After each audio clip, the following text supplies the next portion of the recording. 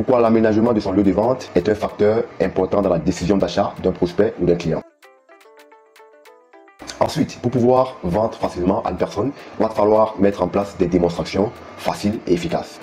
Observez, à chaque fois qu'il y a une publicité à la télévision ou il une publicité sur Internet, ils font toujours l'effort de vous démontrer pourquoi et comment. Ça veut dire qu'une démonstration rapide, premièrement, parce que tout client a besoin d'une solution rapide. Et ensuite, ils mettent également l'accent sur l'aspect facile, c'est-à-dire qu'ils te présentent un produit qui est premièrement rapide dans l'obtention du résultat, également qui est facile à utiliser. Tout client n'a pas d'effort à faire ou ne souhaite pas faire un effort pour pouvoir atteindre un objectif.